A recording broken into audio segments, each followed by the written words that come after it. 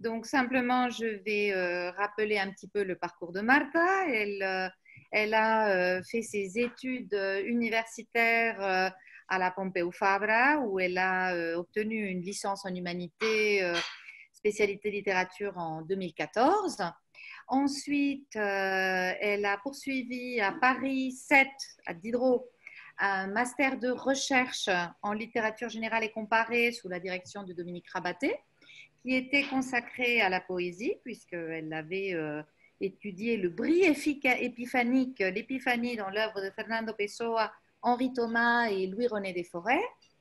Ensuite, euh, elle a fait également un deuxième Master 2, cette fois-ci un Master de MEF à l'Université Paris 3, avec un sujet de mémoire consacré à l'épistolaire de Pedro Salinas, donc dans la, dans la, dans la poésie de l'exil de Pedro Salinas, sous la direction de Mélissa Lecointre. Et euh, donc, depuis 2019, euh, elle fait un doctorat dans notre, dans notre euh, pardon, depuis 2018, désolé, donc après avoir réussi l'agrégation d'espagnol en 2017, agrégation à laquelle elle a été classée première. Elle fait une thèse ici à l'Université euh, Paris-Nanterre qui se fait en codirection avec la Pompeu Fabra, euh, donc avec euh, la codirection de Domingo Rodenas et qui est consacrée au carnet de l'écrivain. Alors aujourd'hui, elle va s'intéresser au sujet suivant, poésie du territoire et territoire de la poésie dans les carnets de Joan Marguerite. Et donc voilà, nous allons, nous allons l'écouter. Donc, euh, je te laisse, je vous laisse la parole, Martha, pour une heure, si j'ai bien compris le, rituel de notre, de notre séminaire territoire, euh, pour parler de, de ce sujet. Euh, voilà. Ensuite, nous aurons un débat durant le temps restreint. voilà, Martha, et merci. Donc, tout d'abord, merci à tous de vous être connectés à cette deuxième séance de séminaire de CRIA. C'est un grand plaisir pour moi de pouvoir intervenir aujourd'hui dans, dans, ce séminaire pour présenter une première partie de mes recherches sur les carnets de Joan Marguerite que j'ai pu consulter à la Bibliothèque nationale d'Espagne grâce au soutien du laboratoire en juillet 2019. Donc, euh, Joan Marguerite est un écrivain qui n'a à peine besoin d'être présenté. Euh, il est né à Sanaouja en 1938, poète, architecte, et professeur de calcul de structure. Il est considéré aujourd'hui comme le poète vivant le plus important en langue catalane. Depuis 1999, Margarita fait le choix de publier tous ses recueils en catalan et en castillan simultanément. Il a été donc lauréat des prix et distinctions les plus prestigieuses de lettres espagnoles, membre de l'Académie de la Real Academia depuis 2003 il a reçu en 2008 le prix national de poésie pour Casa de Misericordia et en 2019, il a été lauréat du prix Cervantes ainsi que du prix Reina Sofia de poésie ibero-américaine. Au cours de cet exposé, je vais commencer donc euh, par une présentation de la pratique du carnet chez Marguerite, telle qu'elle apparaît à la lumière de son archive, en m'occupant plus particulièrement des liens que cette pratique entretient avec la notion de territoire qui fédère euh, nos recherches au sein de laboratoire. Ensuite, je passerai à l'analyse plus détaillée des enjeux territoriaux de la poésie et la poétique de Marguerite, en m'appuyant sur l'étude des carnets de l'écrivain des années 1999 à 90. Donc, dans un premier temps, j'analyserai la genèse d'une poésie du territoire chez Marguerite et dans un deuxième temps, je m'occuperai de sa conception du territoire de la poésie qui trouve son germe dans le carnet de cette même période. La consultation de l'archive des carnets de brouillons de poésie et notes diverses de Joan Marguerite s'inscrit dans les cadres de mes recherches doctorales, consacrées au carnet d'écrivains dans les lettres espagnoles de la deuxième moitié du XXe siècle. A priori, je définis les carnets d'écrivains comme une pratique d'écriture privée associée à un objet précis et vouée principalement à la création littéraire et intellectuelle. Ce travail théorique sur les carnets d'écrivains se fonde sur l'étude des carnets manuscrits originaux de quatre auteurs espagnols, Maria Zambrano, Carmen Martín Gaite, José Ángel Valente et Joan Margarite. Ainsi, le dépouillement de son archive a fait partie d'une enquête plus large que j'ai menée au cours de la première année de thèse à la recherche d'archives de, carnets inédites susceptibles d'être incorporées au corpus d'études. Pour ce faire, j'avais formulé une série d'hypothèses de départ sur les carnets, à partir desquelles j'avais également défini des critères de délimitation du corpus, que les carnets de Marguerite semblaient a priori remplir. Premièrement, j'ai choisi de limiter la recherche aux carnets privés, dont l'écriture est destinée en premier lieu à l'écrivain lui-même. Et j'ai priorisé pour autant des carnets inédits du vivant de l'auteur, comme ceux de Marguerite. Deuxièmement, il m'a semblé nécessaire que le corpus de carnets manuscrits de chaque écrivain témoigne d'une pratique plus ou moins régulière. C'est le cas de Jean Marguerite, pour qui le carnet est un outil central dans son processus créatif. Comme il l'a affirmé dans des entretiens et dans des écrits personnels, depuis ses débuts comme écrivain dans les années 1970, Marguerite a pris l'habitude de ne jamais sortir sans un carnet dans sa poche pour écrire. Et l'archive de la Bibliothèque nationale le confirme. Elle conserve 140 carnets de petit format, datés entre 1976 et 2010. Enfin, j'ai choisi d'étudier ce que lui appelle des carnets composites, c'est-à-dire ceux qui remplissent diverses fonctions possibles du carnet. Marguerite utilise ces carnets principalement pour y inscrire des brouillons de poésie, mais puisqu'ils l'accompagnent un peu partout, ils contiennent aussi, bah, euh, ils, accueillent besoin d'autres notes de diverses natures liées à sa vie littéraire, brouillons de prologue, notes de poésie, listes de poèmes et idées de titres, mais aussi à sa vie professionnelle et personnelle, brouillons de lettres, organisation et notes de voyage, dessin de structures architectoniques, etc. L'ordre d'hypothèse sur la pratique du carnet, fondée sur des lectures théoriques que j'avais mises à l'épreuve.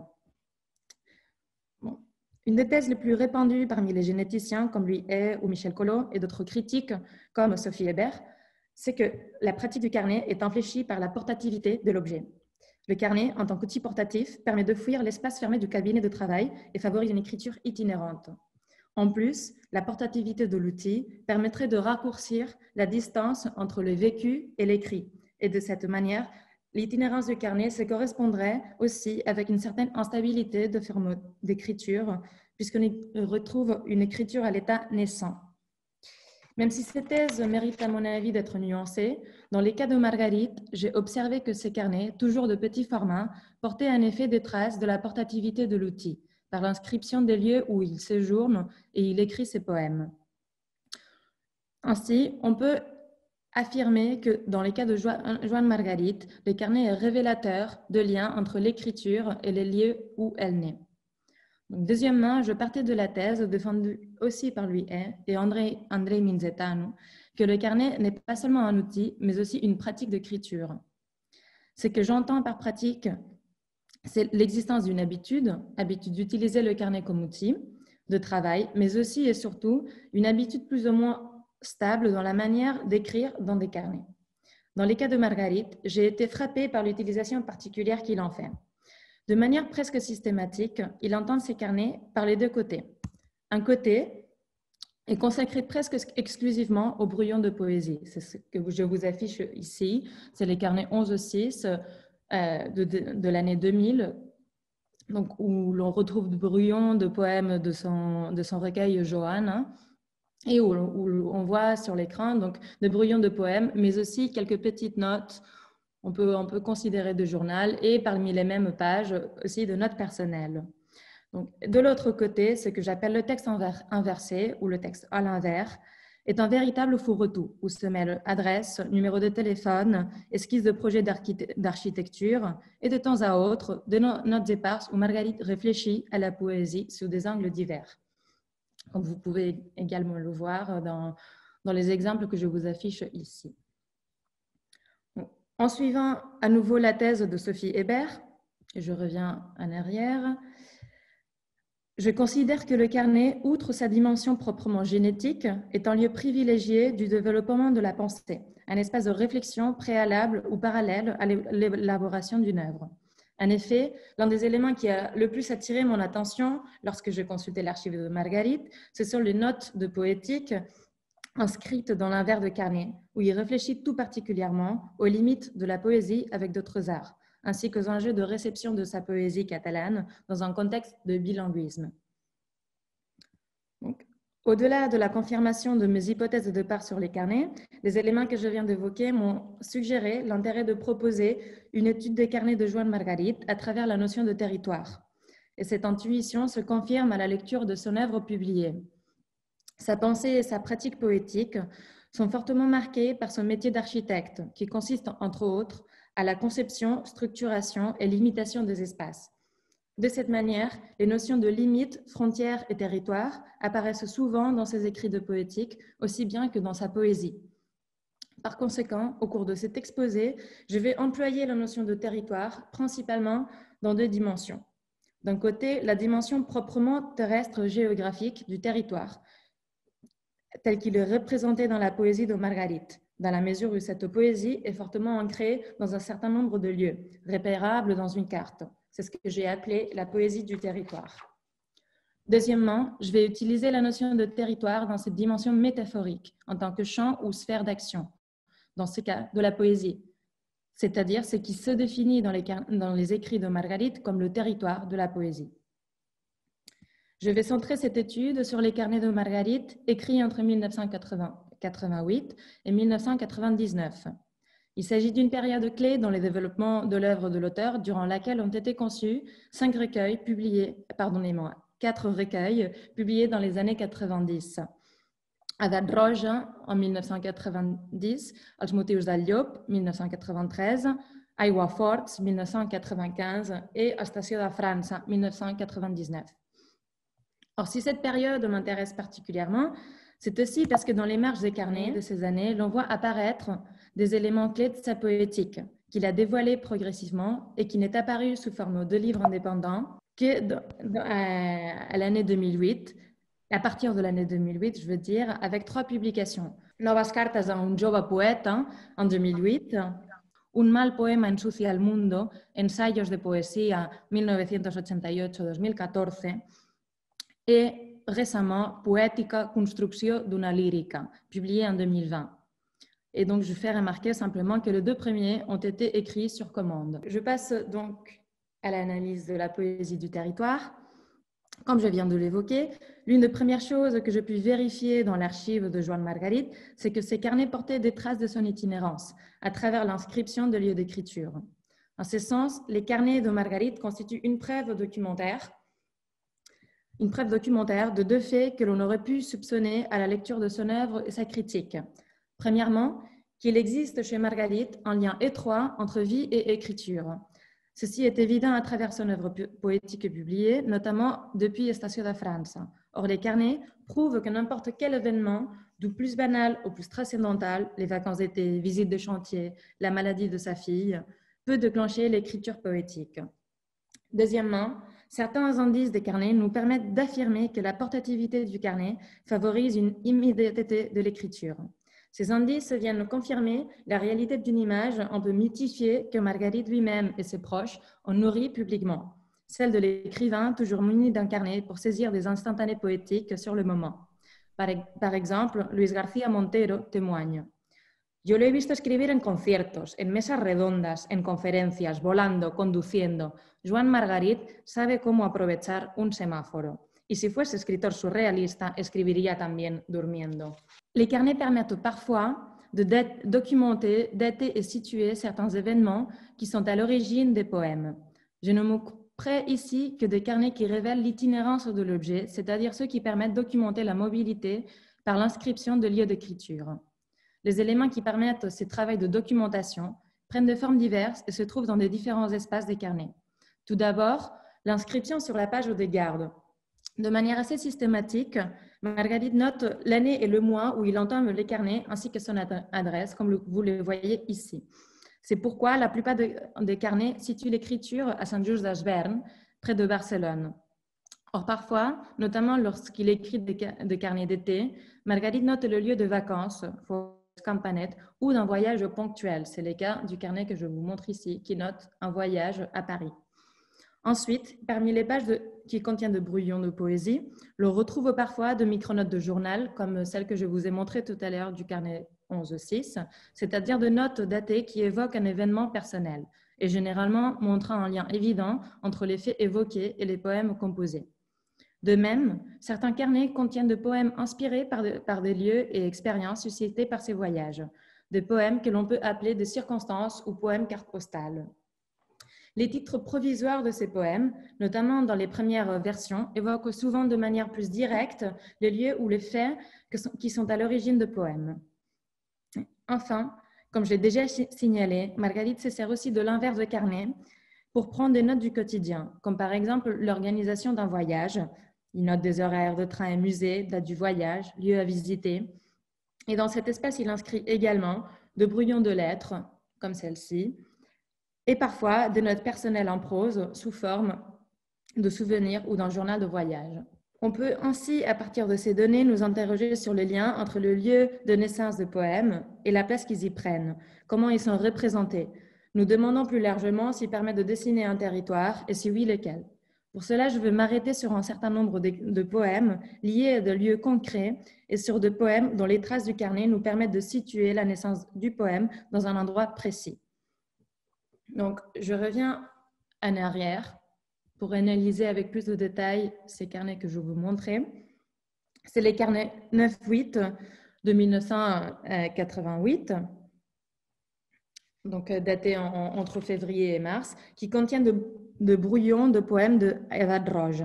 Ces carnets constituent un cas assez singulier de carnet de voyage, car, comme vous l'avez vu, il contient de références nombreuses à un voyage à Paris. Ainsi, la date et le lieu de ce voyage se trouvent dans la page de garde, mais, il note aussi une liste de lieux de Paris dans une page de brouillon, sur une page de brouillon, pardon, comme vous le voyez ici. Et le poème semble d'ailleurs recueillir des impressions d'une visite à un palais parisien. Et dans les textes inversés, il note un résumé du voyage jour par jour et il évoque le même fait dans la lettre à son ami Pera Rubira. Et note curieuse, il semble avoir photocopié son carnet pour éviter de faire une mise au propre de la lettre, comme on peut lire dans le post-scriptum. En revanche, seulement un de brouillon du carnet inspiré par les voyages et l'avant-texte d'un poème publié dans Edad Roja. C'est L'Agne va. Il s'agit d'un poème consacré à Lynn Carola, née Denise Eisbert, actrice enterrée au cimetière Père-Lachaise. est en effet le petit journal de voyage, dans le petit journal de voyage, il mentionne sa visite au Père-Lachaise. Dans les pages de Brouillon, folio 10, il y a quelques notes que l'on peut soupçonner d'avoir été prises sur place, où l'on peut lire. Tombeau en fer, arbre noir et nu. Terre sombre, Denise Eisberg très belle. Elle sourit, photo sépia, 1984, 20 ans. Des oiseaux s'abreuvent dans les tombes. Et dans la page suivante, on, y retrouve un brouillon qui commence. Nous étions devant le tombeau, grande caisse en fer une prison. Quelques pages plus tard, folio 24, hein, il y a un brouillon intitulé La Lioge d'Eia l'Agne Kavamuri, la pierre indiquée l'année où elle est morte, version proche du titre définitif du poème. Donc, le poème définitif, je vous l'affiche ici. Donc, dans ces poèmes, on peut lire sur la photo sépia, elle est jeune souriante. Sur la pierre est écrit l'année où elle est morte, l'hiver de 1944 au 20 ans. La pierre a un petit trou rempli d'eau de pluie où les oiseaux vont s'abreuver lorsque le narrateur, au long manteau et aux cheveux gris décoiffés par le vent, va s'éloigner. On peut, on peut observer dans la version définitive de ces poèmes que les détails concrets sont supprimés et ils ne gardent que les impressions. Le nom de l'actrice n'apparaît pas et Paris n'est pas mentionné. Ce n'est plus qu'une grande ville à la fin du poème. La voix poétique se dédouble par ailleurs en une troisième personne, procédé récurrent dans ces recueils qui, comme l'indique José Luis Morante, procura un distanciamiento de lo autobiográfico y una formulación meditativa realizada desde el sosiego. Et pourtant, poursuit-il, eso no anula la inclusión de vivencias personales, estampas y reflexiones subjetivas, cette expérience, dans les poèmes que nous venons de voir, reste suspendue dans un espace-temps indéterminé, que seulement le carnet permet de restituer. On remarque en effet que le poème de la Droge est en général de ce cycle poétique qui s'achève avec Aiwa Forte, se situe en général dans, dans des espaces imprécis, la mer, une plage, une ville. Et pour ce recueil en particulier, les poèmes évoquent souvent l'espace mythique de l'île du Trésor, qui représente l'espace de la poésie et qui est souvent identifié à Tenerife, île où il a découvert sa vocation poétique. Pourtant, Comme l'indique également José Luis Morante, souvent, el sustrato de las emociones se localiza en lugares de nítido significado que incrementan la imagen realista, el café de la ópera, la Rambla, el Turopark. Lieux de poèmes, cependant, dont je n'ai pas trouvé de traces explicites dans les carnets. Un autre carnet de voyage de cette époque qui a attiré mon attention, c'est le carnet 911 de l'été 1989, car les titres de poèmes sont parsemés de toponymes de l'île de Majorque. Sa Pujol, Aucanada, Sa Plaça, Banyalúfar, Església de Campanet. Ce sont certainement de poèmes de circonstances, comme aussi le poème En arrivant à Forès ou Après, après une tempête d'été c'est-à-dire de poèmes qui naissent au feu des expériences vacancières et dont aucun ne semble avoir été publié. Pourtant, les carnets suivants, le 9-12 de septembre 1989, recueillent le poème Distancia, probablement une réécriture de poème du carnet antérieur et avant-texte du poème Distancia, Carretera d'Abuja a sa Pobla, que je vous affiche ici. Les carnets 9-11 gardent ainsi les traces du séjour estival de Margarita Campanet, un village au centre de l'île de Majorque, lieu de vacances qu'il a fréquenté, mais aussi au village de Forès, situé à l'intérieur de la Catalogne, à la frontière entre Tarragona et Lleida, évoqué dans les brouillons que je mentionnais tout à l'heure en arrivant à Forès. Bien plus présent dans la vie et la poésie de Marguerite, Forès est un lieu récurrent dans les carnets de Marguerite, par-delà les tentatives de poèmes abandonnés de ces carnets. Ces villages apparaissent souvent dans les pages de garde de carnets, car l'écrivain y passe de vacances dans une maison de campagne nommée Cambaldo. Comme vous le voyez aussi, j'affiche toujours le même euh, carnet 9-8. Au-dessus de son adresse, il a noté Cambaldo Forest. Forest est sans nul doute un lieu de recueillement pour le poète, un lieu de lecture et d'écriture, ou du moins, il se révèle comme tel dans des carnets un peu plus tardifs, de l'année 1994, où il prépare le recueil Iowa Forts, E forte, publié en 1995. Ainsi, dans les carnets 10-11 de l'été 1994, nous y retrouvons l'inscription du moment d'écriture d'un brouillon, un fait plutôt rare dans ces carnets. Il note comme ça 25 juillet 1994, En lisant Junger, suivi d'un brouillon de poème qu'il a abandonné, Mati al Museu. Le même geste se répète, dans la page suivante où il note, en lisant Calle con almacén rosado de Borges, suivi du brouillon de poème Lunas personals, lune personnelle. Il mentionne sa lecture de Borges un jour à Forès. Borges, tu m'as provoqué depuis la Suisse, ta poussière intelligente et grise, qu'un jour je chantais. Je, dérobe à Forès une pellicule de vie à mon néant. Dans la version finale du poème, on peut lire L'éclair de lune que je n'attendais pas, de la cinquantaine, le nuit d'amour, lune d'été derrière la colline sombre de Forès. Parmi tant de lunes, la vie nous laisse dans le regard une lune grise. On peut voir comment, dans la version finale du poème, Cancho da Luna Grisa, très différente de cette première version, efface la référence explicite à Borges, seulement évoquée par euh, le gris de la lune dans le regard, mais garde par contre la référence à Forès. Cependant, Forès n'est plus le lieu d'annonciation du poème, seulement le paysage de fond de la cinquantaine, qui était en effet l'âge de Marguerite à ce moment-là. Encore plus intéressant à mon propos, c'est le poème Uraciana du même recueil, consacré à Forès et écrit à la même période, parce que ces deux carnets, le 10, 10 et 10-11, semblent avoir été écrits tous les deux à peu près à la même période, été 94. Donc, ce poème consacré à Forêt est écrit dans les textes inversés du carnet, cette fois-ci, juste après plusieurs pages de notes sur l'Antiquité grecque. Ici, on voit apparaître des éléments de description du paysage par l'énumération de choses vues. En lieu solitaire, entouré par les vignes, des champs labourés, les maisons sur la colline, etc. Ce n'est plus seulement l'évocation. Donc, ici, on voit donc apparaître des éléments de description du paysage je disais, et ce n'est plus seulement l'évocation d'état d'âme ou de souvenirs suscités par ces lieux, comme dans les premiers recueils. Par ailleurs, les paysages ruraux de Forès est envisagé dans les poèmes comme un lieu pour s'exiler de la ville de manière volontaire, à la manière d'Horace, comme le titre l'évoque, et comme le confirment quelques notes dans les carnets 10-12, donc euh, de la même, aussi de la même période un peu plus tard, où l'on peut lire dans les textes inversés à nouveau Les personnages des poèmes d'Horace n'est pas, pas un paysan, mais un citadin de Rome qui fuit la ville précisément parce qu'il l'a vécu trop intensément. La ville est présente donc dans ses refus. Chez Ovide, l'exil est obligé. Chez Horace, volontaire. Mais ce sont deux exils. À l'horizon de leur poésie, il y a toujours la ville, Rome.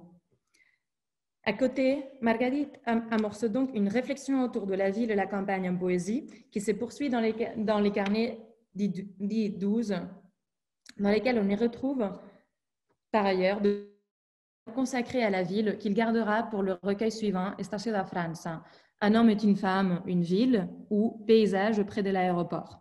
Ainsi, même si Marguerite considère qu'Aiguafort termine son cycle poétique, commencé avec Guillaume d'Aplouge en 1986, il initie dans ses recueils le chemin qu'il emprunte définitivement dans Estacio da Franza. Progressivement, le lieu se précise dans les poèmes. Ce n'est plus n'importe quel lieu, n'importe quelle plage, mais des lieux concis, décrits et liés à des expériences qui y sont évoquées.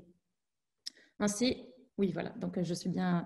Donc, ainsi, Forest est représenté dans Estacio de France dans des poèmes comme Can Baldu Forest, dont les carnets 10-27, écrits euh, autour de Noël 1988, recueillent une version sous le titre Forest, Forest Maltems, où l'on retrouve aussi le brouillon de Samantiri a Solivella, un texte plus que probable de Nocturne à Solivella, qui est un village euh, euh, proche de Forès. Les éléments du paysage de cette région évoqués dans Horaciana sont aussi présents dans ses poèmes, les champs, les vignes, les calmes, la solitude. Et l'on remarque également que Forès se consacre comme lieu d'énonciation de nombreux poèmes dans ses recueils, comme c'est le cas de Farewell que je vous affiche ici. Donc seulement pour remarquer cette répétition du lieu d'énonciation, ici à Forès, ici à Forès. Cette explicitation de lieu d'énonciation de poèmes est à mon avis liée à la pleine assumption du caractère autobiographique de poèmes d'Estacio da Franza, affiché dans les prologues et renforcé par les notes finales où Marguerite élargit et explique les circonstances de genèse de certains poèmes. C'est que, comme nous l'avons vu, il avait tendance à effacer préalablement. En ce sens, deux carnets de jeunesse de de France avaient attiré mon attention car ils contenaient des notes en prose qui évoquaient de voyages, comme les carnets 9-8 que je vous ai montré tout à l'heure. Le premier est, le carnet dit 15, écrit au printemps 1995 et qui recueille dans son envers des impressions d'un voyage que Margarita fait à Buenos Aires. Ces notes conforment un texte assez long, avec des corrections et dont le style est assez soigné.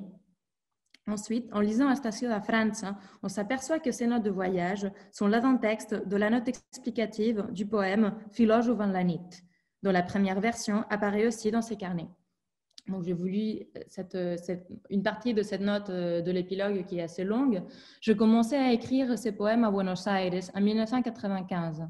Nous étions autour d'une table d'un restaurant du centre, Emilio Liedo, près de 70 ans, le poète Luis Antonio de Villena, autour de la quarantaine, le jeune critique Fernando Valls et, déjà un peu loin de 50 ans, l'helléniste Carlos García Gual et moi-même.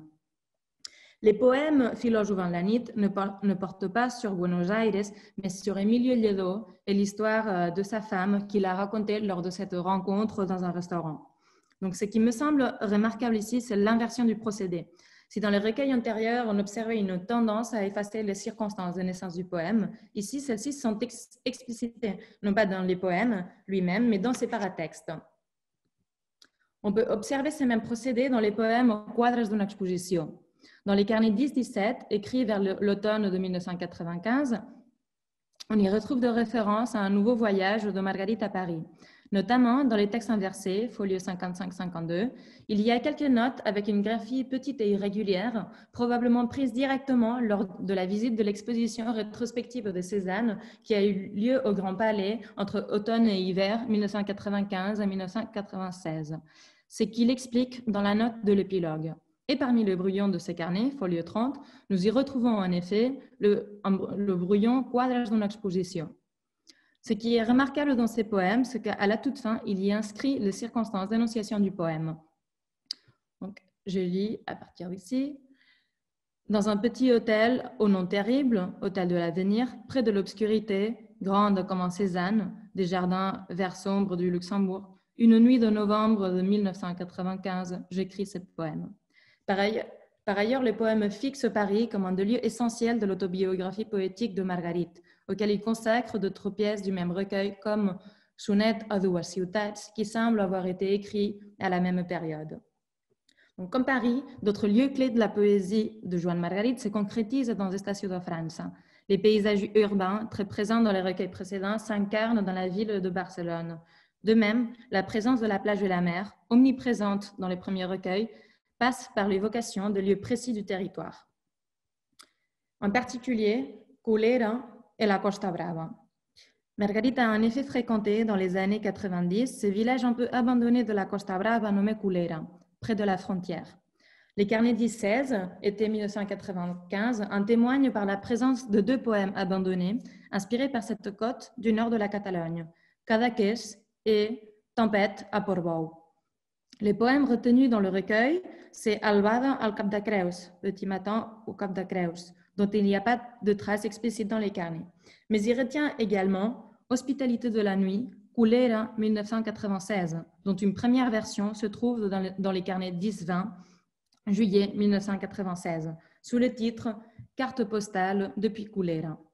On remarque dans les poèmes la présence de voix du train, qui sont celles du train nocturne Paris-Barcelone, que Marguerite a emprunté tant de fois pour ses voyages à Paris et qui partait de la gare de France, qui donne le titre au recueil, en passant par la côte de Portbou et Culera.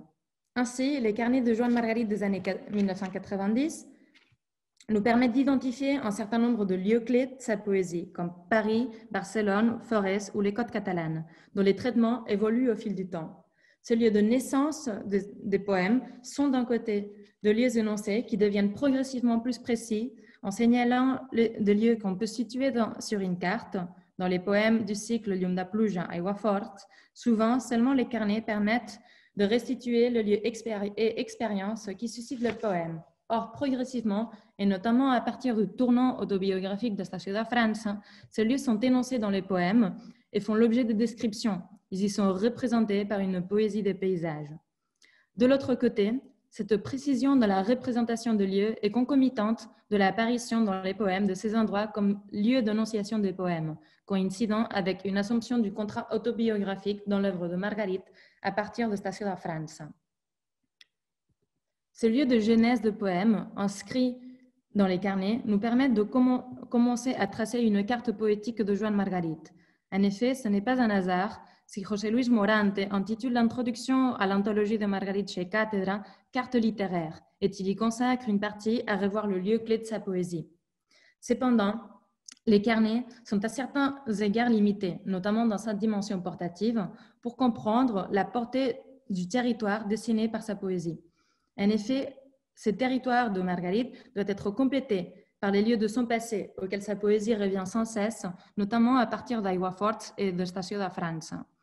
L'itinéraire Paris-Barcelone recouvre une partie importante du territoire poétique que Marguerite dessine dans ses recueils. Mais en fait, la guerre de France représente pour lui surtout une voie d'entrée dans les passés.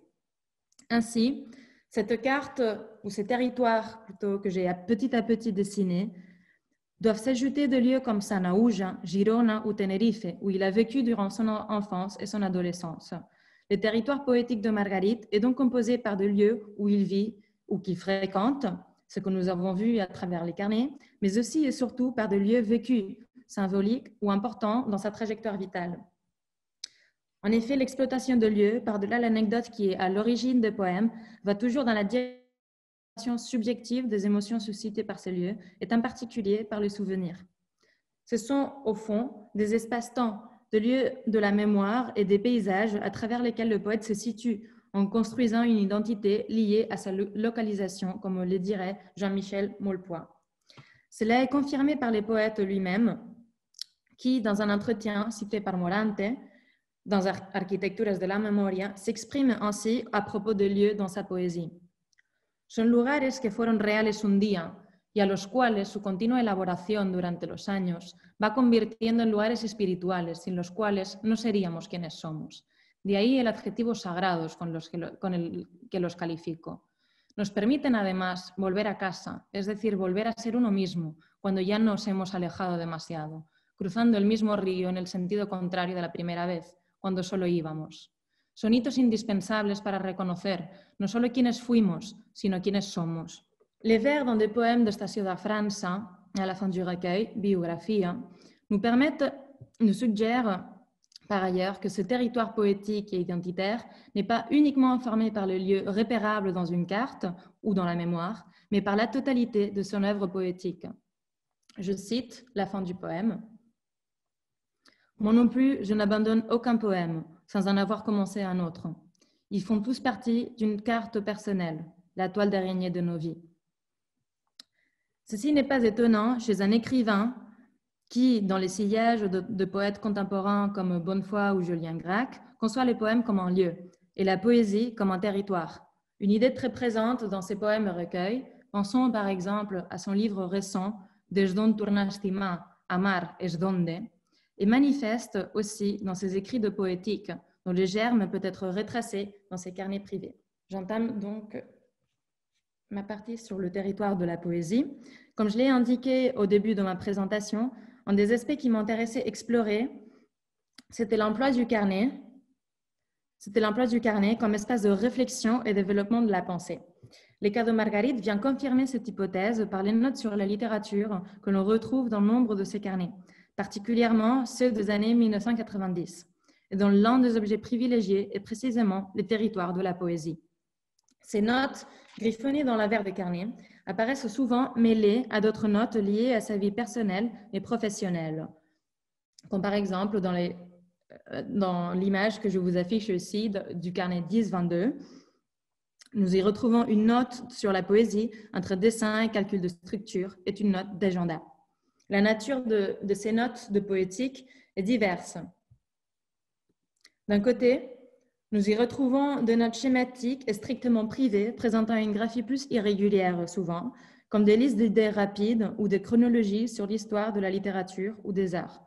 comme par exemple dans les carnets d'I3 que j'affiche, plusieurs pages de chronologie de poésie, avec la particularité que la pagination de ces carnets a été faite à l'inverse par la Bibliothèque euh, nationale. Donc, euh, on a l'impression que c'est l'endroit du carnet, mais, en réalité, dans la cohérence de, l'archive, c'est plutôt l'inverse. Hein.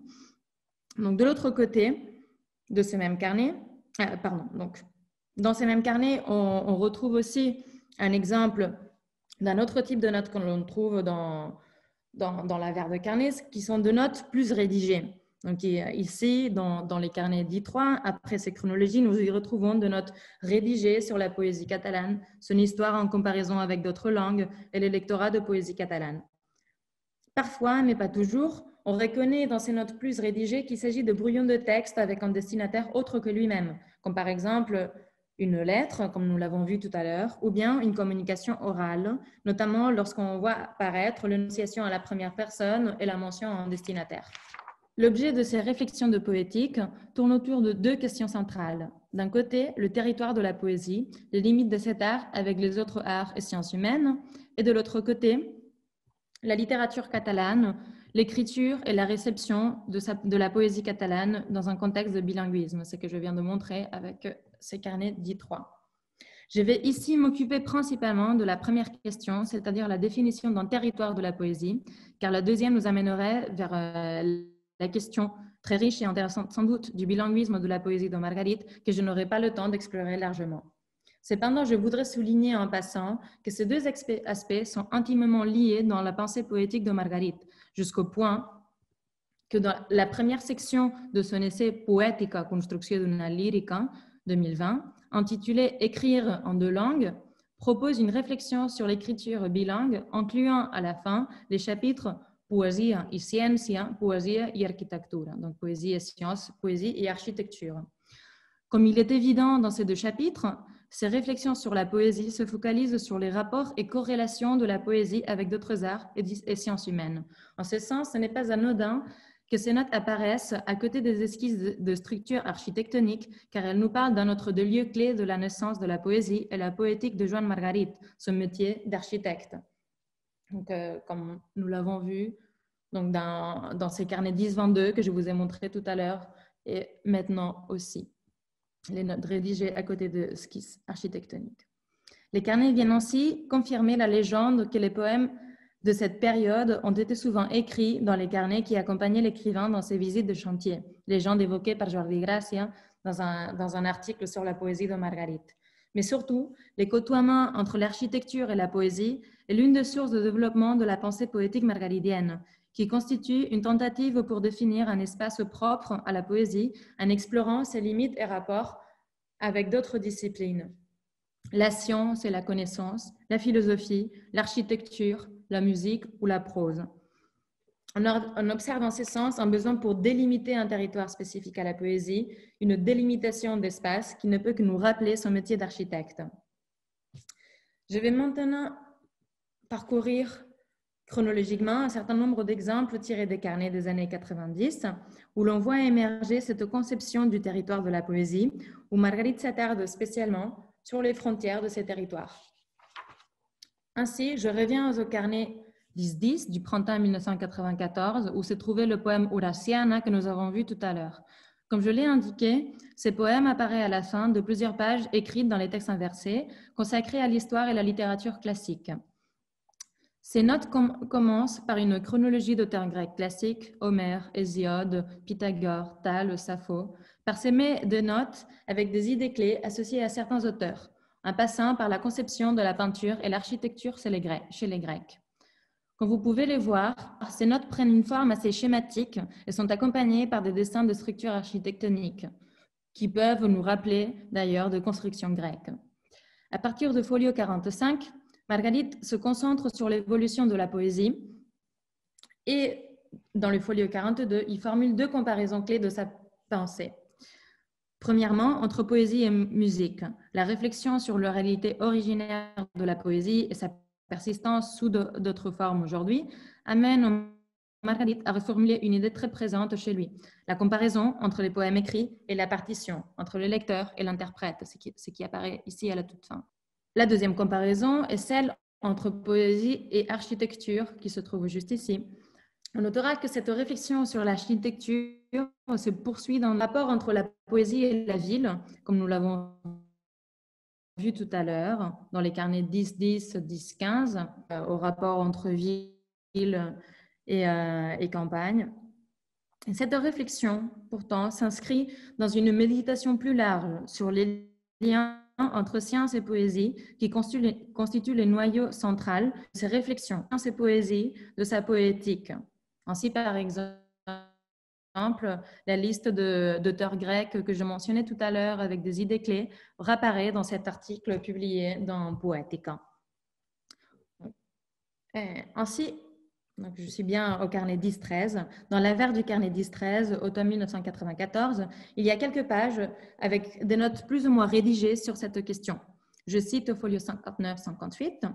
Science et poésie, écrit-il, ont en commun le fait d'être un modèle, c'est-à-dire un réseau abstrait qui nous permet de connecter avec la réalité concrète. Et il continue. Connecter en science signifie prévoir un comportement, prévoir l'avenir. Connecter en poésie signifie expliquer. La poésie travaille donc sur les passés. Les modèles est ici la langue et ses lois internes, bien plus obscures que celles de mathématiques. Les mêmes idées sont reprises deux ans plus tard dans les carnets 10-19 1996 sous forme de notes rapides dans un style télégraphique. Ces notes insistent sur le fait que la poésie, comme la science et l'architecture en particulier, ont en commun le fait d'ordonner. Je cite, La poésie ordonne les relations avec soi-même et la science ordonne les relations avec l'environnement. Par conséquent, se termine par des considérations sur la transmission de connaissances. Un livre de, science, dit-il, contient et transmet toute l'information. En revanche, les livres de poésie doivent être complétés par le lecteur indiquant à nouveau entre parenthèses les parallèles avec la partition musicale, comme vous pouvez le voir ici. Les carnets divins de la même période, 1996, poursuit ce fil de réflexion en reprenant la question de l'oralité originaire de la poésie et plus précisément autour de la fonction du maître et de la rime et leur évolution au fil du temps. Je cite. La poésie est née comme un instrument de transmission de traditions orales. À une époque où il n'y avait pas d'informations écrites, les longues épopées que le peuple voulait transmettre au fil des générations devaient être mémorisées. Les rythmes en général et la rime en particulier sont nés en tant qu'instrument d'aide à la mémorisation. En poursuivant cette méditation et à mode de synthèse, Marguerite établit La poésie est donc délimitée dans ces deux extrêmes par la prose et par la musique. La mention au rapport avec la prose dans les notes qui suivent est un peu confuse dans ces carnets, mais elle s'exprime plus clairement dans les carnets 10-23, euh, dont je n'ai pas d'image, qui datent d'une année plus tard, mai 1997. Marguerite reprend l'idée que la rime le maître servait à l'origine à la, la, transmission de connaissances. Or, dans les passages de l'oral à l'écrit, cette fonction vient progressivement être remplie par la prose. Je cite les pas de l'oralité à l'écriture est donc un coup pour la poésie, qui cède progressivement son lieu de privilège à la prose dans un long processus. Cela implique donc la réduction du territoire de la poésie, qui se situe à l'époque contemporaine dans une situation de marginalité où pour survivre, elle est obligée de devenir de la prose elle-même. Cette idée se poursuit enfin dans les carnets 10-27, hiver 1998, que nous avons vu tout à l'heure aussi, contenant deux poèmes sur Forès, avec la particularité que cette fois-ci, les notes s'inscrivent sur les côtés de brouillon et non pas sur l'inverse du carnet. Au milieu d'un brouillon, l'erreur, il note quelques idées un peu isolées sur une page autour de disciplines avec lesquelles la poésie estompe ses limites au XXe siècle. La linguistique avec les avant-gardes, la philosophie, notamment avec T.S. Eliot, et le récit avec la poésie de l'expérience chez Hardy, entre autres. Pour Marguerite, aujourd'hui, le territoire de la poésie est plutôt réduit au troisième point, l'approximation au récit, comme il le dit ici. Le fil d'argumentation n'est par contre suivi dans les folios d'après, mais on retrouve en revanche une formule clé de sa pensée qui apparaît déjà dans ses carnets des années 1980. La poésie est la discipline la plus précise de l'être, de même que la mathématique est la plus précise de science. C'est l'affirmation de la pureté de la poésie parmi les lettres qui suggère en ce sens une certaine supériorité de cette discipline. Nous avons vu dans ce parcours à travers les notes de poétique de Carnet de Marguerite des années 1990 comment l'exploration des limites de la poésie dessine un territoire borné par des frontières étanches, envisagé plutôt comme un lieu d'échange et de contact avec les autres territoires voisins, la musique, la prose, la science et l'architecture. Par l'établissement constant d'analogies et parallélismes entre la poésie et ses autres disciplines, Marguerite suggère, un fond commun entre celles-ci par le fait d'être des sciences et des arts humaines. La poésie est en ce sens définie comme un territoire ouvert, un territoire de partage avec les autres arts, mais aussi et surtout avec les lecteurs. Comme nous l'avons vu, à travers le parallélisme musical, Marguerite insiste sur l'indispensable coopération du lecteur dans la construction du sens du poème. À cet égard, Luis García Montero parle de la poésie habitable de Joan Margarit, dans la mesure où ses poèmes sont construits et conçus comme des lieux que le lecteur puisse habiter. Je cite Que la gente pueda vivir en los libros supone para Margarit un acto de responsabilidad. En el poema hay que crear las condiciones necesarias para que sea posible la vida. Ahí está la razón de su conciencia creadora, Necesitaba edificar poemas habitables, buscar los símbolos, meditar las metáforas, medir las estructuras que le permitiesen al lector vivir en sus poemas. Fin de la citation, donc c'est tiré du prologue à l'édition euh, castillane de Aguafuertes, publiée en 1998. Ce besoin de construire un territoire poétique ouvert au lecteur peut constituer un angle d'élucidation des réflexions de Marguerite sur la communauté de lecteurs, de lecteurs de poésie, et plus particulièrement de poésie catalane, présente aussi dans les carnets de cette époque. Par exemple, les carnets 10-11, que nous avons aussi vu tout à l'heure, euh, où il mentionne sa lecture de Borges, contient des notes avec des données statistiques sur le nombre de lecteurs possibles de poésie catalane, ce qui inclut principalement les catalanophones, mais aussi les lecteurs hispanophones capables de lire en catalan. On se rend compte que Marguerite affiche une conscience de la marginalité de la poésie aujourd'hui, et en particulier de la poésie en catalan dans un contexte de bilinguisme. En ce sens, l'élaboration à partir de Station de France d'une poésie en deux langues fait partie d'une stratégie pour élargir la communauté de lecteurs ou autrement, autrement dit, pour ouvrir son territoire poétique à plus de lecteurs. En effet, on l'aura vu, les réflexions de Marguerite sur la poésie parcourent aussi son évolution historique, le conduisant au constat que son territoire s'est irrémédiablement réduit au profit de territoires voisins. Une conscience de la marginalité ou la petitesse de ces territoires aujourd'hui, qui en même temps semble s'accompagner de l'affirmation de la centralité de la poésie parmi les autres sciences et disciplines, au moins dans son expérience personnelle. Cette centralité de la poésie dans l'univers margaridien peut être vérifiée par la consécration de la quasi-totalité de son œuvre à ce genre littéraire. En outre, l'organisation spatiale des carnets dessine aussi d'une certaine manière un territoire de la poésie, les côtés de Brouillon, est un territoire du reste, l'architecture, les notes personnelles, la poétique. Pourtant, ces notes en prose inscrites dans l'invers de carnet ont progressivement trouvé une place dans les livres publiés de Marguerite. D'abord, ces notes sont passées des marges des carnets au paratexte des livres, ainsi qu'à d'autres péritextes comme des conférences et des entretiens.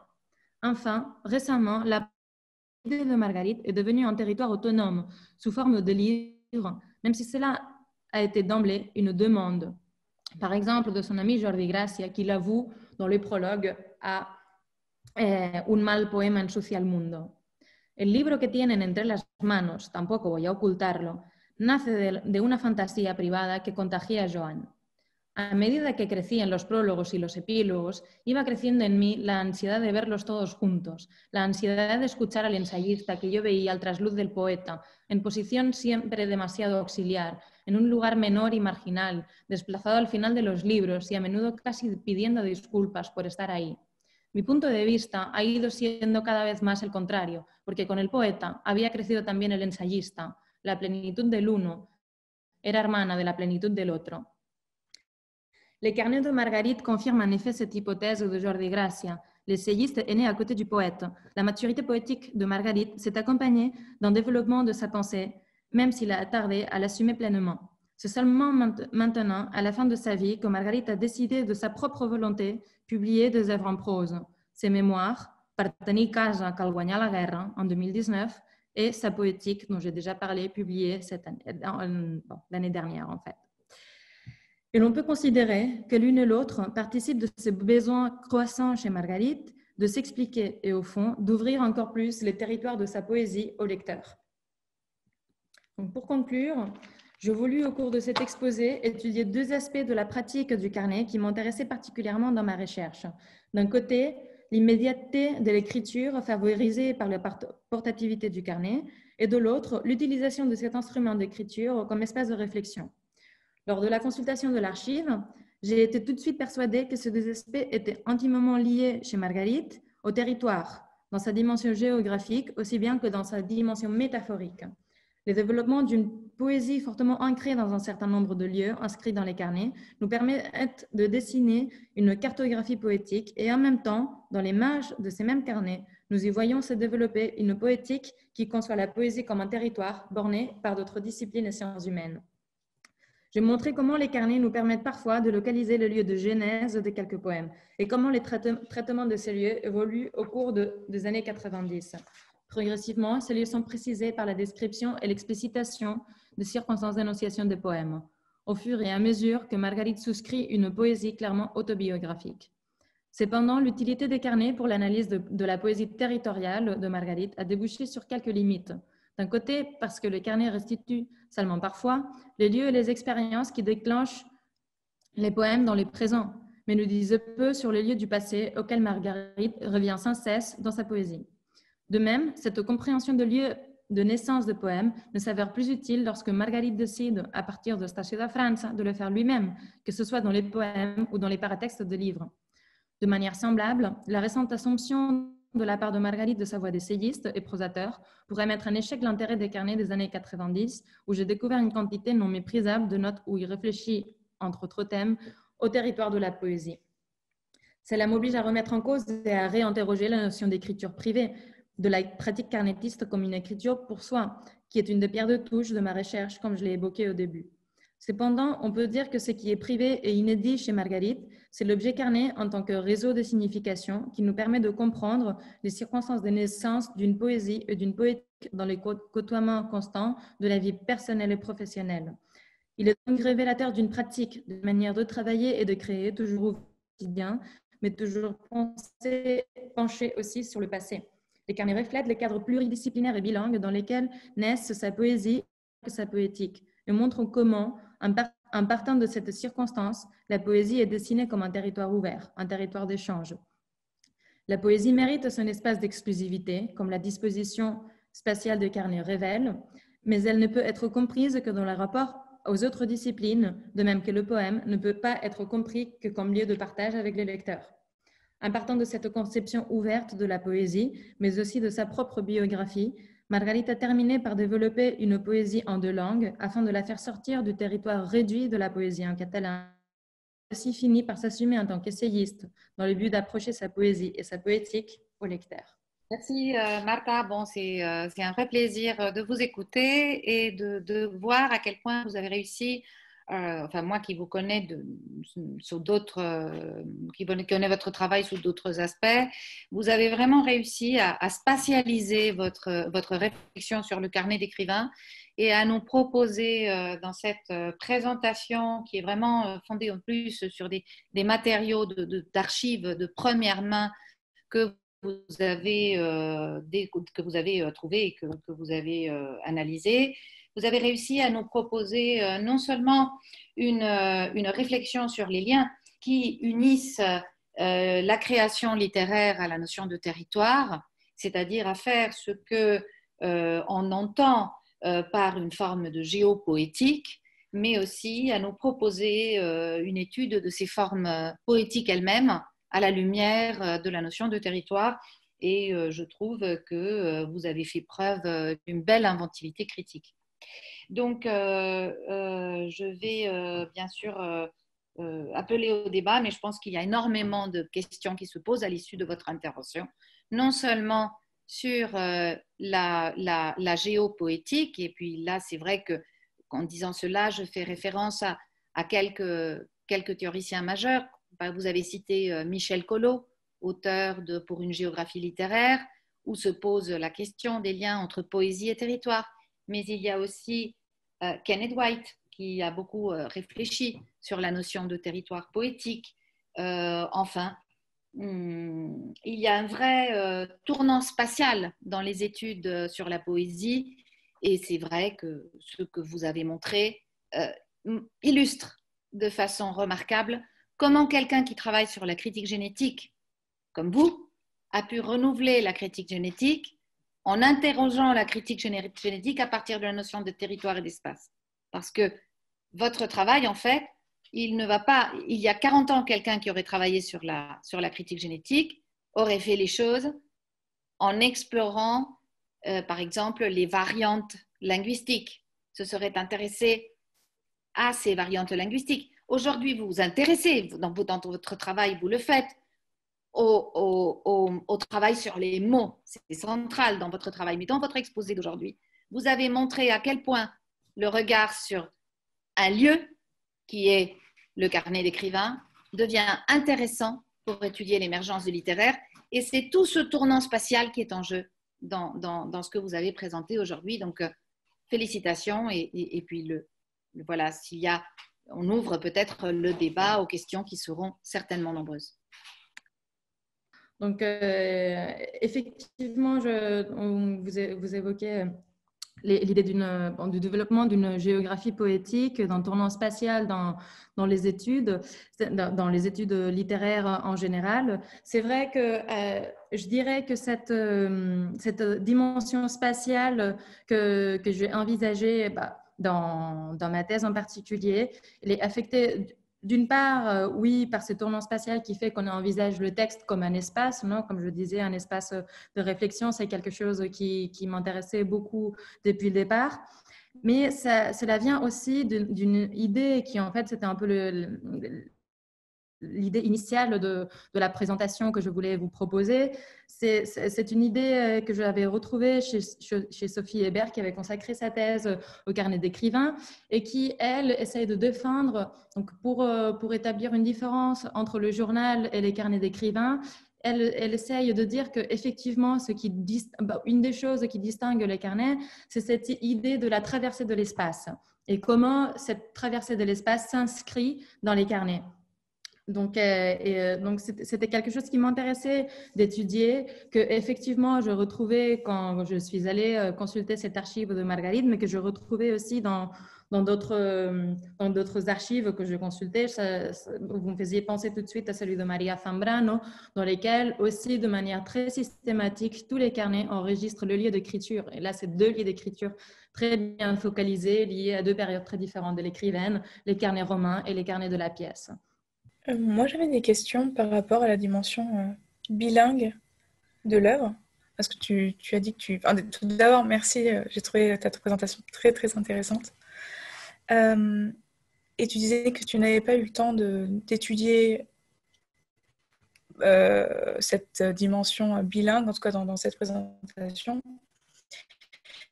Et je me demandais comment se présentait ce bouisme dans le livre. S'il y avait une colonne espagnole, une colonne catalane, ou bien s'il y avait une page espagnole, une page catalane.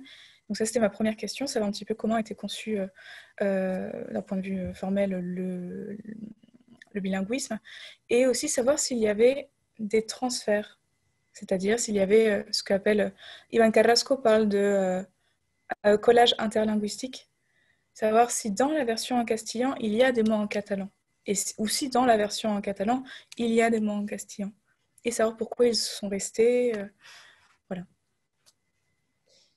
Alors, euh, en fait, quand je disais que je n'avais pas le temps de m'occuper du bilinguisme, c'est parce que c'est une question assez, assez vaste qui aurait pu aussi faire euh, l'objet de, de, ma présentation, mais je ne pouvais pas tout faire dans la présentation, c'était plutôt ça.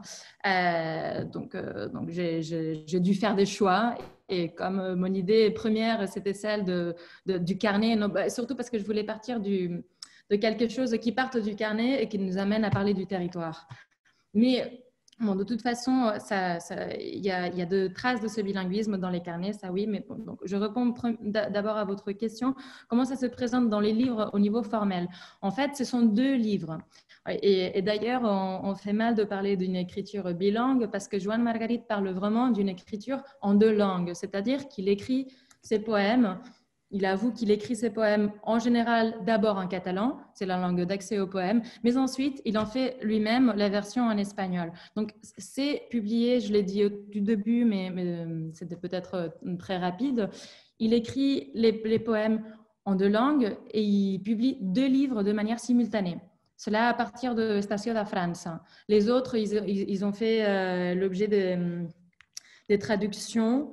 Si je ne me trompe pas, euh, tout ce qui est toute la première partie de son œuvre poétique en catalan, c'est quand même lui qui, a fait les versions, donc euh, ce qui a été publié comme euh, El primer frío, et, seulement Aguafuerte a a été traduit par, par quelqu'un d'autre. Si je ne me trompe pas, c'est Antonio Jiménez Millán, mais je, n'ai pas la certitude. Je pense que oui. Hein.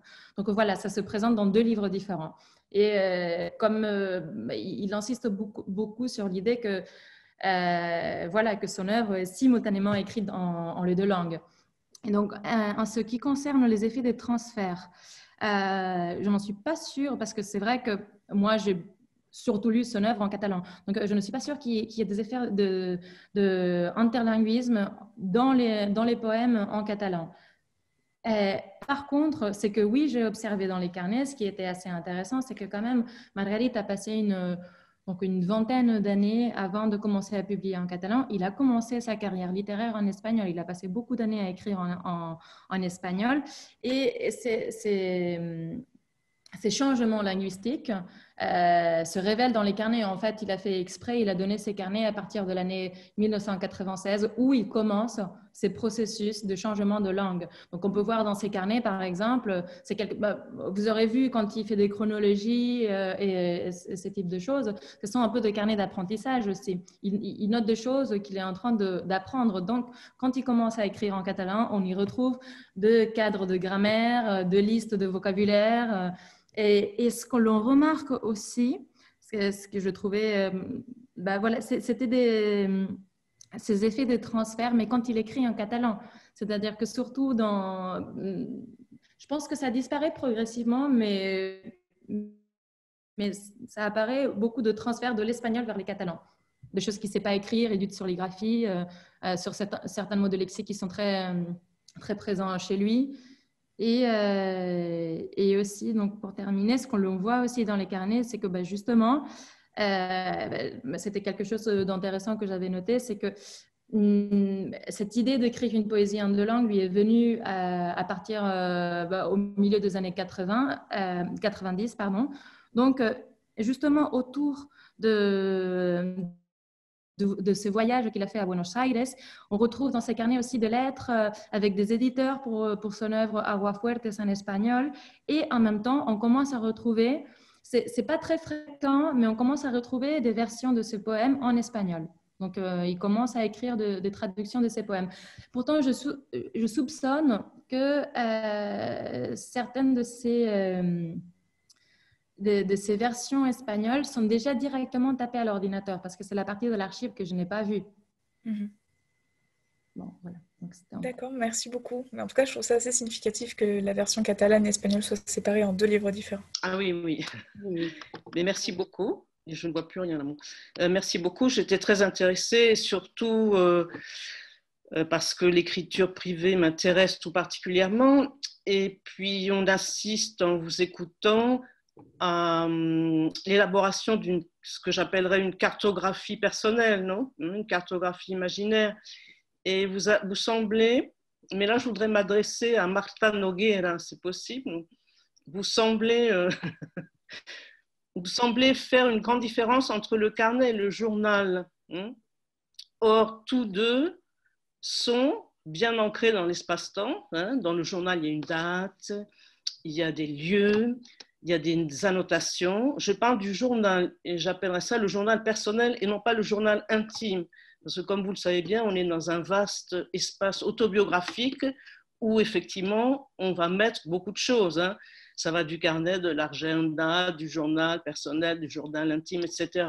Donc, je vous laisse savoir si euh, vous faites une grande différence entre le carnet et le journal personnel ou a-t-il écrit un journal personnel ou alors ces agendas euh, se substituent à un journal personnel? Disons, je fais une grande différence et en même temps, non. C'est un comme euh, si, si on, parle de journal personnel, donc euh, plutôt le choix de, de, le, jeune pour ne pas parler de journal intime, mais de journal personnel. Brouillon de soi. Brouillon de soi. Exactement. Donc là, je suis tout à fait d'accord avec le fait que c'est la même chose. Donc on, pourrait très bien parler de journal personnel ici. Dans les cas de Marguerite, ça me semble un peu plus euh, forcé parce que ces carnets, quand même, oui, ils sont datés, mais euh, j'ai pu observer dans, les plusieurs archives que j'ai consultées déjà que l'effet de la datation, c'est quelque chose qui appartient aussi au manuscrit. L'idée de, de noter la date et le lieu, ça appartient aussi au brouillon et pas seulement à, l'écriture du journal. Donc, euh, je, moi, je ne suis pas complètement convaincue justement, bah, ou pas totalement d'accord avec les critères que toute écriture datée est un journal. Mhm. C'est une, euh, une, des choses importantes que je défends dans ma thèse. Donc, mais par contre, oui, je pense qu'on peut parler de journaux personnels parfois. Et qu'est-ce que... Ah, c'est un peu un laboratoire, non? C'est un peu un avant-texte, un prétexte, un laboratoire. Bon... E-, exactement, mais par contre... Là, où j'établis une, pour moi, là où il y a une vraie différence, c'est oui, le journal intime, en tant que, on comprend euh, le journal intime en tant qu'un genre littéraire, c'est-à-dire en tant que, euh, oui, en tant que genre qui nous permet de lire des textes qui sont publiés. Parce que bah, c'est, je, pense que sinon, c'est très confus parce qu'en journal littéraire, en, journal intime en, tant que genre littéraire, oui, répond à certaines règles, à certaines attentes qu'ont les lecteurs. Et c'est un genre qui, en Espagne, a une, une présence. Donc, moi, j'insiste un peu à faire cette différence entre ce qui est un genre littéraire est une pratique d'écriture privée qui est révélée par des matériels d'archives comme les carnets. Mais, vous savez bien que journal intime, bon, le journal personnel, ça recouvre justement soit le journal intime et aussi toutes ces écritures privées qui passent de l'agenda au carnet. C'est pour ça que j'ai utilisé le mot journal personnel et non pas le journal intime. Hein. Je voyais plutôt ça et vous l'expliquez bien en montrant justement ces archives super intéressantes que ça peut être un gribouillis, une date, euh, une phrase, une idée, un dessin, hein. tout ce qui est du premier jet. Quoi et que peut-être après on va réutiliser dans l'œuvre. Et ça peut être aussi un premier jet assez casse, une poésie comme ça. Et moi, je me pose le problème de la publication de tous ces carnets, quoi. Hein. Ben, en, fait... L'idée, euh, euh, il est mort ou pas Parce que j'ai pas bien suivi au début. Il est mort, il est vivant encore? Non, il est encore vivant et il continue à travailler. C'est assez et mais alors ça, c'est, ça pose aussi le problème de la commercialisation. Quoi, hein. Les éditeurs qui font feu de tout bois, le moindre petit euh, ticket de métro, de n'importe quoi, de petits brouillons, tout ça qu'on va publier de face après la mort du. Mais bon. Ben, critère de l'intérêt littéraire ou de l'intérêt purement autobiographique. Euh, mais en même temps, c'est très passionnant et j'ai beaucoup apprécié tout ce que vous nous avez expliqué.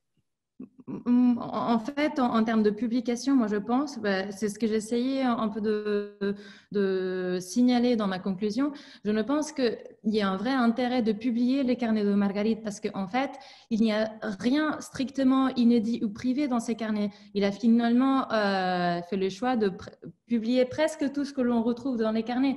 Sauf que cet objet, en tant qu'objet d'archive, présente un intérêt. Et je pense que, voilà, pour moi, l'intérêt de ces carnets, c'est qu'ils nous parlent d'une manière de travailler, d'une pratique d'écriture qui, après, dans la publication, ça prend une autre forme. Mhm. Ah, merci beaucoup. Euh, bonjour à tous, je suis très heureuse de, vous retrouver. Et euh, merci Martha pour, euh, pour cette, euh, pour cette intervention. C'était vraiment très, très intéressant. Et d'ailleurs, je ne connaissais pas du tout euh, ce poète. Donc, en plus, voilà, je l'ai découvert. Et, euh, et, je me sens d'autant plus la privilégiée enfin, d'avoir eu accès à ces images d'archives. Si je comprends bien, voilà, ça sera juste pour nous.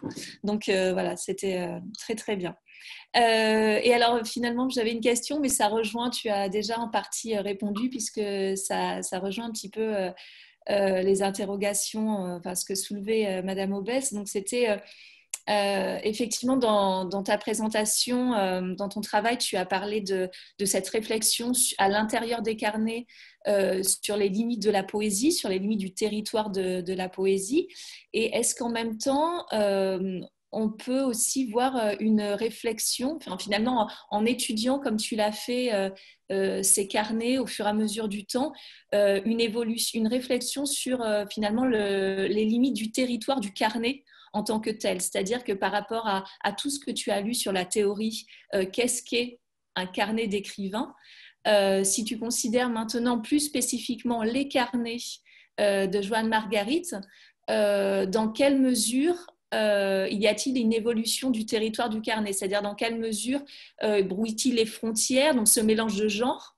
Euh, et, voilà, et est-ce que, enfin, qu'est-ce que tu en déduis sur Est-ce que tu as dérivé déjà à des conclusions voilà, sur, sur finalement peut-être un, un, genre qui serait redéfini, enfin une, une, redéfinition du genre des carnets dans le cas de Joanne Marguerite et au-delà, euh, finalement, euh, justement, Madame Obès parlait après, ça pose le problème de la publication. Et effectivement, est-ce qu'on peut aujourd'hui considérer le carnet comme de la littérature? Euh, Voilà. Oui, il y avait plusieurs choses. Donc, ben, je réponds surtout à cette, à cette question sur, sur une possible évolution.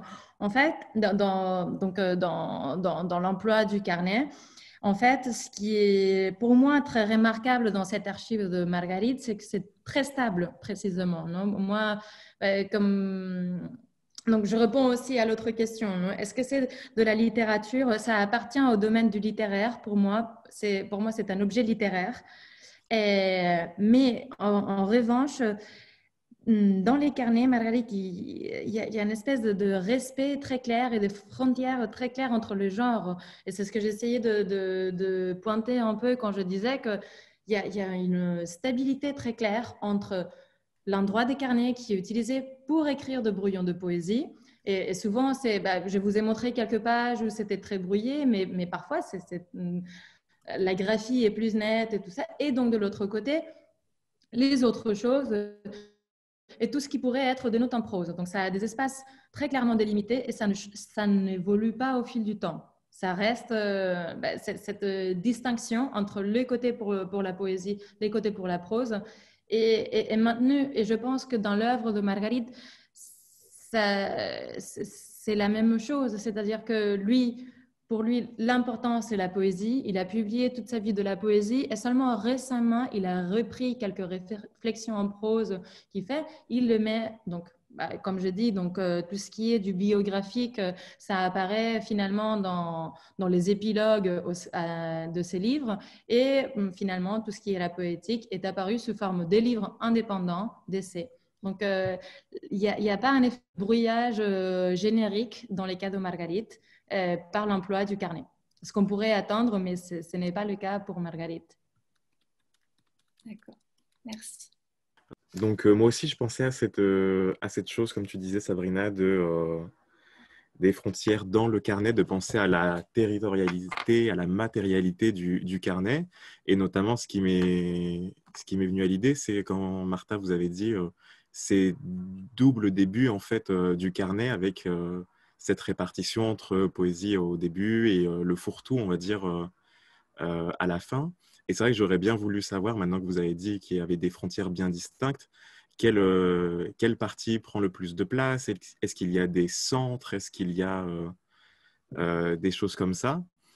Et qu'est-ce qu'apportent justement ces, ces, doubles entrées si on fait des lectures bah, de, la gauche vers la droite et de la droite vers la gauche?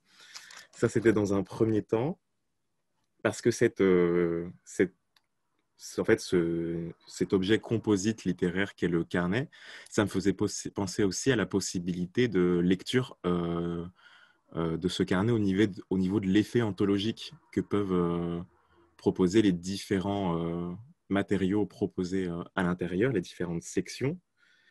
Et j'ai notamment vu ça dans une diapositive que vous avez montrée au début de la partie sur le territoire de la poésie, dans le carnet 10-22, où grâce à la numérisation du manuscrit, on voyait que euh, on arrivait à voir par transparence la superposition des, des, pages et où là justement il n'y avait plus cette frontière, cette territorialisation entre la partie euh, de brouillon de poésie et la partie avec euh, des dessins notamment d'architecture. Et je me demandais si justement grâce à cette technique de numérisation, on ne pouvait pas justement proposer des lectures en transparence voire en transperçant euh, de, ces carnets. Donc, vous me demandiez comment, comment euh, ces frontières euh, se présentent. Donc, oui, il y a des centres dans les carnets. Ça, c'est quelque chose je n'ai pas de réponse pour savoir pourquoi. Parfois, il y a des carnets, donc bah, parfois c'est très clair. Par exemple, je vous ai montré le carnet 11-6. C'est un carnet qui est lié au moment où des médecins lui annoncent que sa fille ne va pas survivre. ces carnets ne contiennent que dans les côtés de brouillon trois poèmes, plus quelques notes de journal.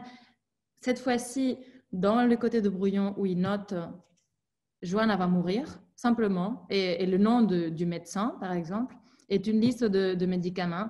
Il n'y a rien d'autre de l'autre côté. Et après, c'est vide, les carnets. Il continue pas, il continue pas, il, en reprend un autre. parfois aussi, il y a des carnets où le centre est immense. Il y a beaucoup de pages euh, blanches entre quelques poèmes et l'autre côté, où il y a peut-être seulement euh, quelques adresses, euh, des dessins d'architecture. De toute façon, comme vous le disiez, c'est vrai que j'ai fait une lecture où, il y a deux pôles des carnets. C'est vrai que ce n'est pas complètement pur, c'est-à-dire que parfois, comme je vous l'ai dit, bah, bah, ou comme euh, j'ai montré aussi, à la place de noter la liste de lieux à visiter à Paris, dans la verre du carnet, il le fait à côté de brouillon.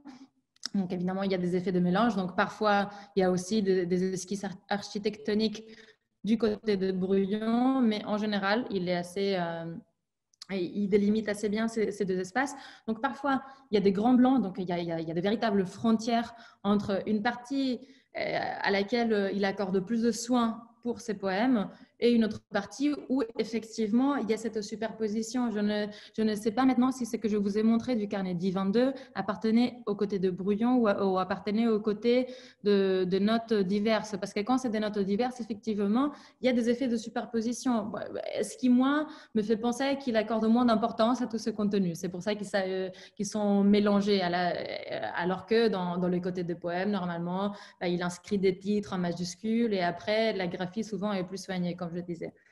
Donc, euh, et finalement, ah, donc vous me demandiez aussi qu'apporte la double lecture. Donc, parfois, on, ne peut rien tirer parce qu'il n'y a, pas assez d'informations pour, comprendre, ou bah, parfois, si c'est simplement des, euh, des rendez-vous, ou parfois ils notent aussi non seulement, non seulement des esquisses architectoniques, mais aussi de, des budgets pour, euh, pour des constructions des maisons. Là, on peut, on, peut pas faire grand chose entre, euh, entre ces matériaux et les poèmes qui sont inscrits de l'autre côté, parce qu'il n'y a presque pas de données. Mais précisément, ce que j'ai essayé de de, mettre un peu en lumière au fil de, mon exposé, c'est que oui, parfois, il y, a des, éléments dans la verre de carnet qui offrent des, euh, éléments pour comprendre les poèmes qui sont inscrits de l'autre côté.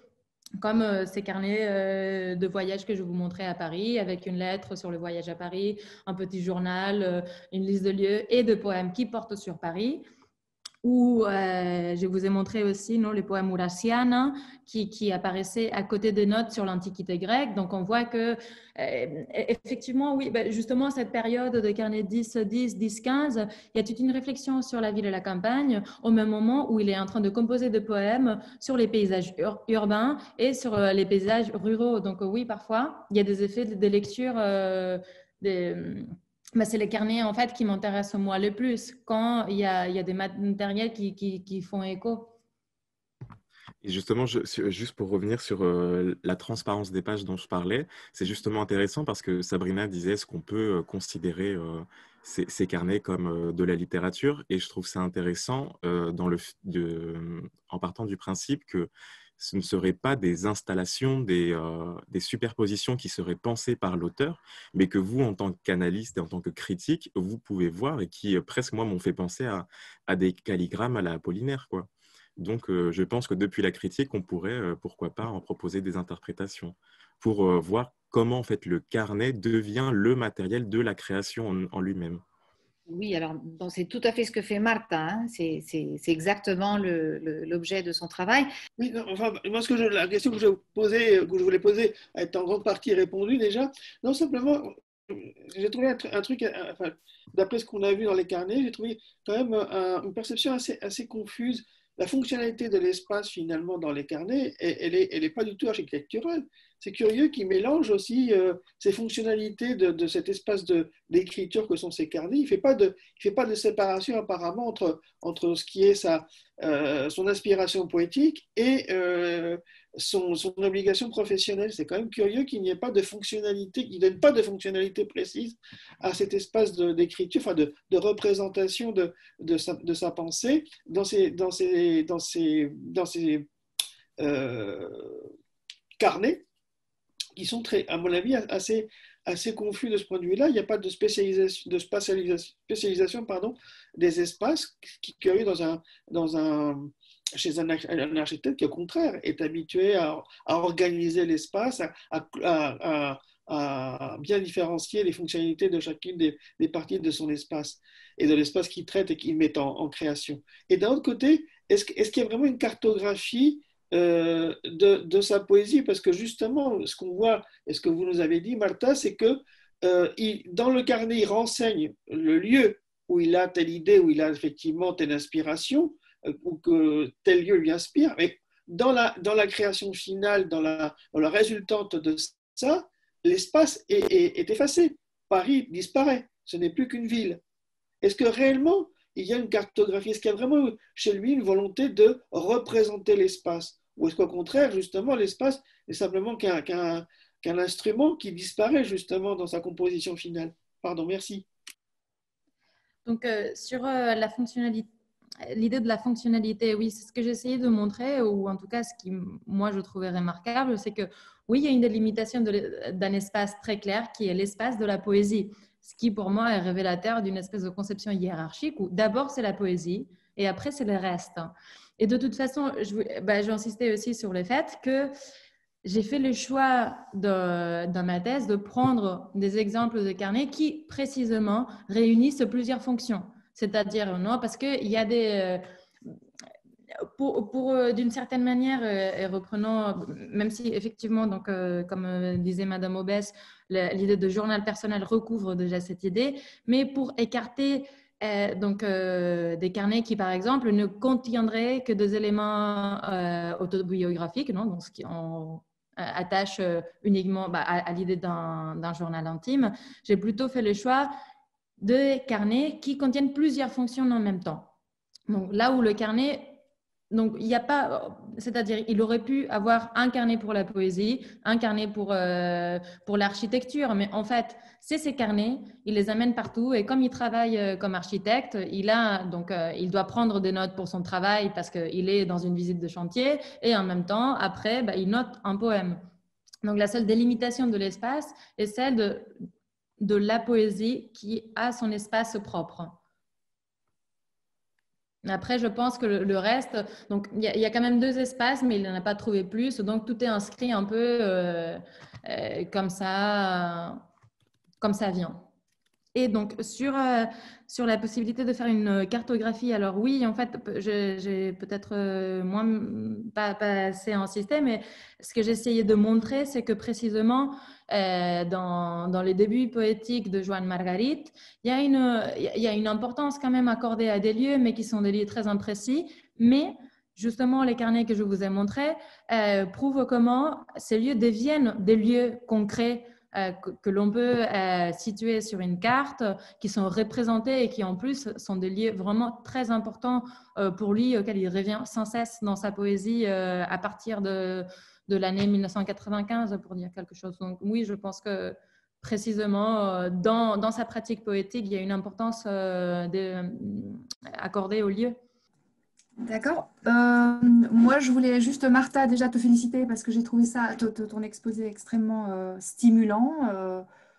j'ai noté plein d'idées, notamment cette négociation entre un, euh, poème dans lequel on laisse le lecteur s'installer, et ce qui évoque aussi le poème un peu solipsiste, hein, duquel on expulse un petit peu le, lecteur pour être au plus près peut-être d'un vécu euh, qu'on a noté sur le vif, mais, euh, mais voilà, dans lequel on, ne met justement pas, assez de références partageables avec le lecteur. Donc, plein d'idées comme ça que, pour lesquelles je te remercie. Euh, moi, qui travaille sur Cortázar, évidemment, euh, tout ça m'a évoqué euh, aussi le Quaderno de Bitácora de, de ce, cahier qu'il utilisait pour rassembler sur le vif aussi. alors, je sais s'il l'emportait avec lui, mais hein, c'est un détail important. Je pense que, mais il notait en tout cas des, des citations, des choses qui venaient de lui arriver, etc. Et il y a toute une réflexion autour de ce qui est resté après, ce qu'il a pris et parfois, c'est vraiment des chunks, hein, c'est des, morceaux entiers qu'il a, transposés de son Quaderno de Bitácora dans, dans, dans, Rayuela et d'autres euh, qui ont disparu. Évidemment, y c'est, très intéressant de voir ce qui reste et ce qui part. D'autre part, il y a, aussi l'aspect euh, intentionnalité, euh, c'est-à-dire que, que Cortázar, dans quelle mesure est-ce qu'il savait qu'il allait confier ce quaderno à, quelqu'un pour publication et, dans quelle mesure est-ce qu'il avait ça en tête quand il a, rédigé ce quaderno? Et est-ce qu'il n'y a pas d'autres quadernos cachés, secrets qu'il aurait brûlés, etc. Et donc ça, c'est des questions qui peuvent peut-être aussi se poser euh, par rapport à, à Joanne euh, Marguerite. Je ne sais pas si, elles, ont été euh, posées, mais euh, moi je ne connais pas, je ne connaissais pas d'ailleurs ce poète, donc euh, je suis très curieuse de, le découvrir. et puis juste un deuxième aspect qui, m'intéresse beaucoup, c'est justement ce, voilà, ce, ce, cet aspect de l'immédiateté entre le vécu et le réel qu'on absorbe et qu'on couche comme ça, euh, un peu sur le vif, euh, euh, sur, sur, le papier. et qui renvoie aussi un petit peu à des pratiques surréalistes. Hein. L'intervention du hasard dans l'œuvre, qui, est, qui, est, très en contraste avec l'idée d'un architecte qui, au contraire, voilà, conçoit l'œuvre dans son architecture. Il y, a là une, une, question aussi très très intéressante, je crois, à, à explorer. Hein, j'ai beaucoup euh, d'autres sujets que j'ai notés et, qui seraient intéressants à évoquer, mais j'en reste, reste à ça pour l'instant. Merci beaucoup. Donc, je reprends au fur et à mesure. Vous parliez du quaderno de bitácora de Cortázar et là, à nouveau, j'insiste un peu sur les choix que j'ai faits pour, euh, pour, pour le corpus. A priori, j'ai un peu écarté tout ce qui serait des carnets qui ont été définis pour travailler sur une œuvre en particulier, qui est un, ce hmm. Donc ce qui est donc euh, quelque chose qu'on identifie comme quaderno de bitácora, non, ou journal de travail. Donc j'avais fait un peu le choix d'écarter ça. Donc c'est pour ça que j'insistais sur cette idée du carnet composite, donc que, Marguerite euh, rend assez bien. Donc sur la question de l'intentionnalité, c'est évidemment une, bah, une question importante, non? Euh, ben, on sait très bien aujourd'hui, tout écrit privé euh, d'un écrivain minimum célèbre est susceptible d'être publié finalement. On avait parlé avec Françoise Aubès non, par rapport à, la possibilité de publication ou pas de, de ces carnets. Donc, il me semble que c'est ambigu. C'est-à-dire, évidemment, je ne je ne pense pas qu'il y ait une intentionnalité de la part de Marguerite que ce soit publié, mais en même temps, il a donné ses carnets à la Bibliothèque nationale. Donc, ils hmm. sont moyennement publics. Hmm. Ce qui, à nouveau, remet en cause la question de qu'est-ce que, finalement un écrit privé? Donc, euh, ils étaient privés au départ et maintenant, ils sont moyennement publics. Hmm.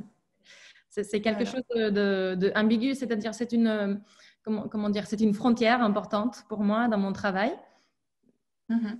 Mais en même qui, temps, qui, invite à repenser aussi la limite du texte et, Exactement. de l'œuvre. Hein. Et, de ce fait, il les inclut même dans son œuvre. Hmm? de ce fait, il les inclut lui-même dans son œuvre. Exactement, mais en, tout cas, j'ai l'impression que de la part de Marguerite, il n'y a pas l'intentionnalité de publier ses carnets tels quels, même, euh, même lointaines parce que finalement, comme je disais, la, plupart de, d'écrits qui lui intéressent vraiment ont terminé, publiés, mais sous une autre forme. Donc, euh, je pense qu'il n'est pas intéressé par la forme carnet comme forme de publication, si on peut dire comme ça.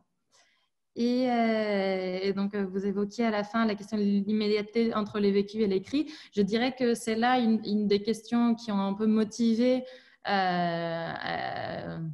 ben, que je me penche sur ces sujets parce que ben, justement, euh, Madame Carandey évoquait au début que j'avais travaillé donc sur, euh, sur l'épiphanie avant en recherche. Et moi, ce qui m'intéressait beaucoup, c'était l'écriture de l'instant. Et donc, dans les représentations d'épiphanie, il y avait cette question de rendre, euh, donc, faire semblant au moins d'effacer cette frontière entre les vécus et l'écrit. Donc, est-ce que les carnets permettent de répondre à ça?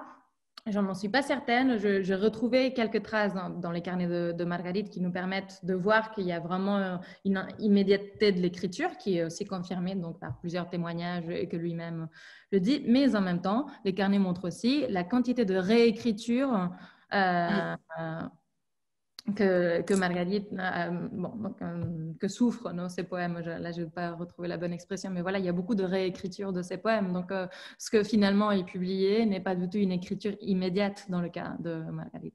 Pour revenir très rapidement à Cortázar, il y a aussi le, le, Diario de Andrés Fava, qui est en fait un espèce de quaderno ou de diario, enfin voilà, mais fictionnel, mais évidemment pas tout à fait fictionnel, mais qui, se rapproche plus, je pense, de ce genre de de carnet euh, plus, plus composite euh, que vous travaillez. C'est juste une petite. Merci. Euh, oui, moi j'aimerais rebondir sur, certaines choses qui ont, déjà été dites, notamment quand, Lina est intervenue, concernant l'architecture et la place de l'architecture dans la pensée de Marguerite, parce que là, on a quelqu'un qui est aussi un professeur universitaire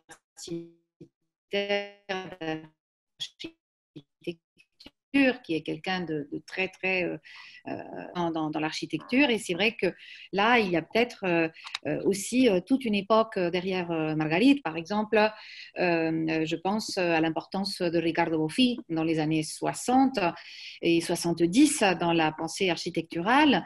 Quelqu'un comme José Agustín Goitisolo, que, que Marguerite cite beaucoup, qu'il connaissait, qu'il connaissait très bien, a travaillé pendant dix ans pour l'atelier de Bofi et a écrit euh, un livre qui s'appelle Taller de mais Ángel González aussi a écrit Tratado d'urbanisme. Donc là, on a, quelque chose qui est un enjeu majeur aussi sur le plan historique, politique, parce que l'architecture est liée à des objectifs euh, euh, importants sur le plan de la, de la démocratisation de l'architecture, qui sont ceux que que défend euh, dans les, dans les années 60 et 70. Donc là, il y a tout un enjeu qui est, euh, qui est important pour, euh, pour l'époque de Marguerite et dans lequel, vis-à-vis duquel il, il, prend position. Et moi, ma question, ce serait, bon, bon d'une part, une, une, une réflexion qui vient aussi de, ce débat, c'est que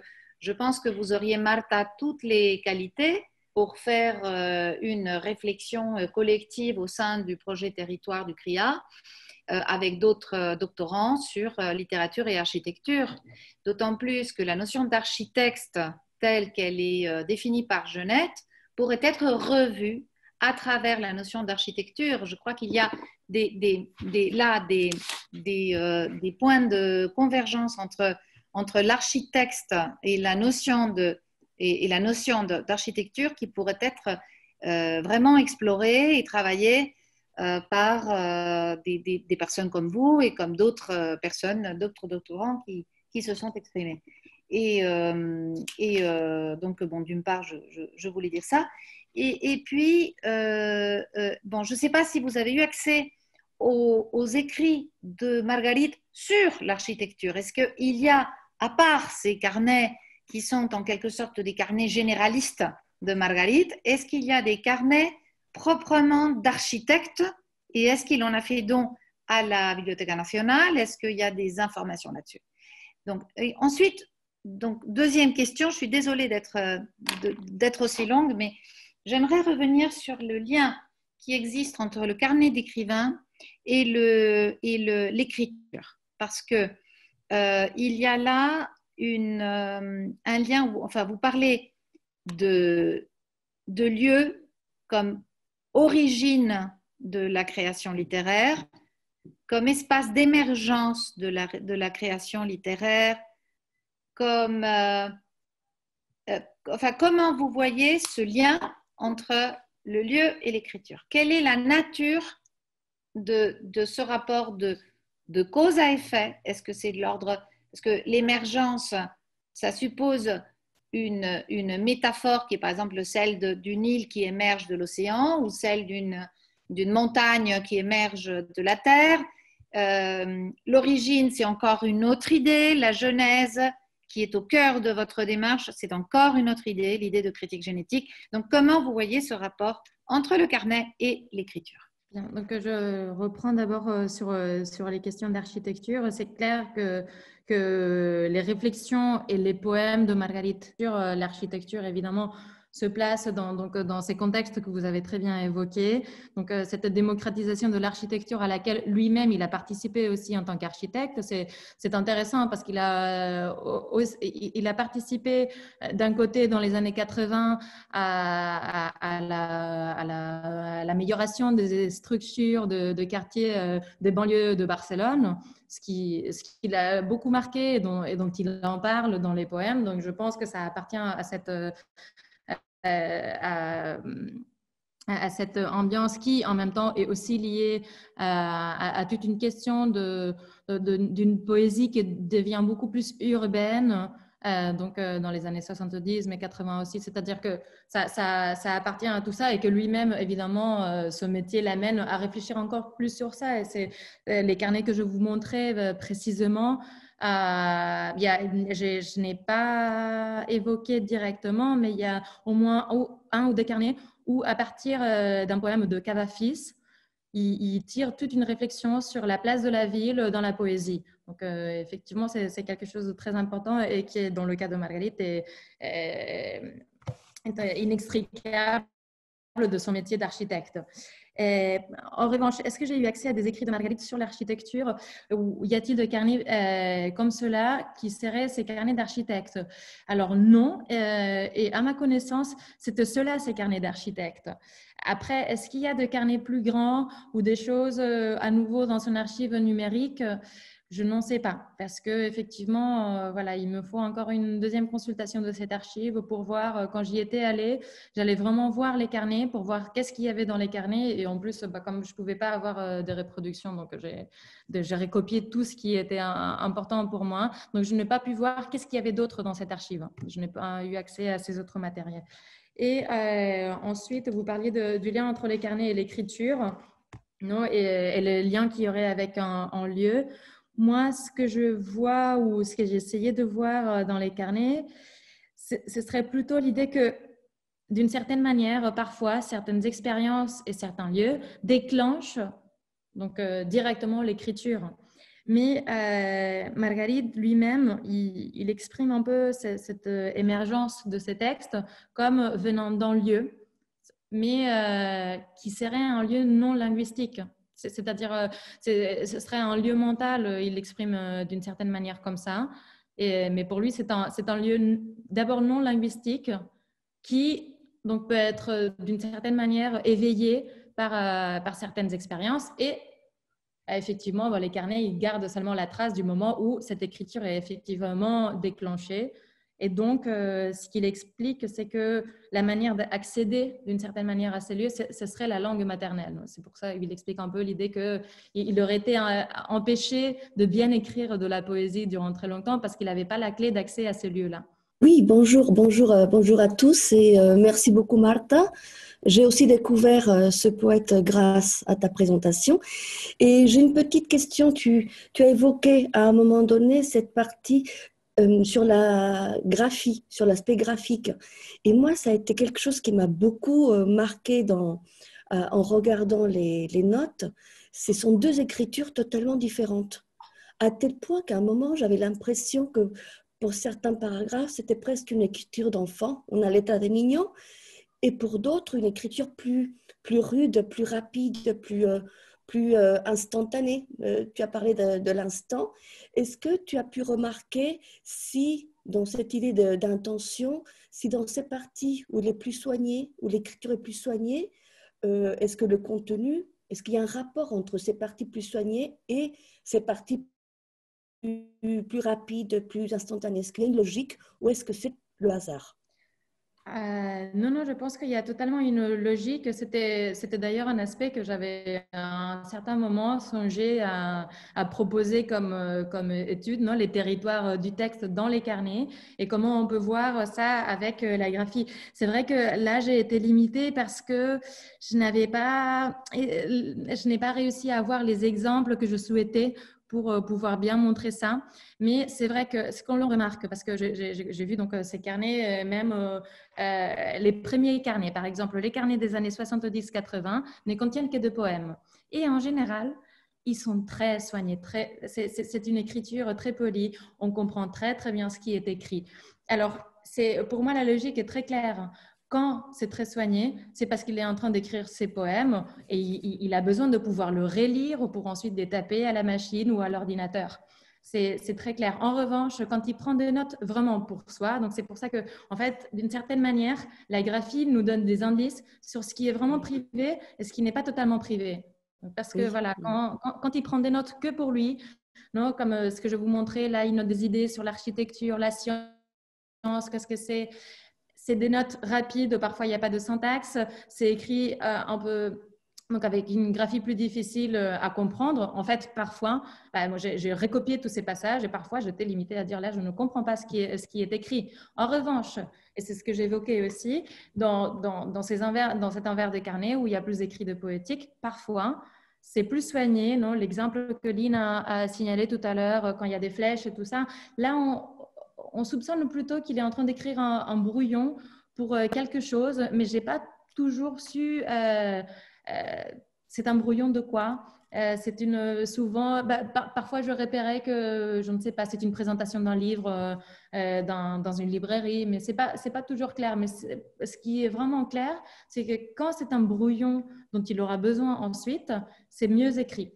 Merci, merci beaucoup. J'ai eu cette petite impression, hein, vraiment, presque deux personnalités en fait. Et ça m'a, ça m'a, ça m'a intéressé de, de voir. tu l'as évoqué à un moment, cette, il écrivait tout le temps, partout. et donc c'est peut-être ça aussi qui fait que qu'il y a deux personnalités finalement dans cette écriture, en la lettre, en lo gráfico. Merci Marta. La Vera, euh, en rebondissant, elle disait aprovechava un sémaphore. C'est vrai que euh, moi, mais, mais, moi, j'étais très surprise de lire ce, ce, témoignage de Luis García Montero qui disait qu'effectivement, il écrit même en conduisant. C'est j'ai beaucoup, beaucoup aimé ton travail. Je te remercie d'avoir accepté de parler. Je sais que souvent, ça vous fait peur aux doctorants, la grand-messe du CRIA, ou petite messe d'ailleurs. Mais je vais quand même poser ma question. Euh, alors, je ne suis pas sûre que je ne te l'ai pas demandé au moment de ton, ton, suivi de thèse, parce que comme c'est une obsession personnelle, dans les, les, anthologies, moi, je me pose toujours la question de savoir si l'agencement, l'ordonnancement des textes est livré à l'aléatoire ou s'il y a... Euh, euh, des critères qui ont hum, influé sur euh, tel poème au début, à la fin, au milieu, etc. Et est-ce que le, les rapports qu'il y a entre le recueil terminé et le carnet, qui est plus que simplement euh, des brouillons, enfin tu t'as bien expliqué tout ça, est-ce que ça renseigne justement sur le pourquoi du comment de l'ordonnancement des poèmes dans le recueil tel qu'il apparaît euh, publié?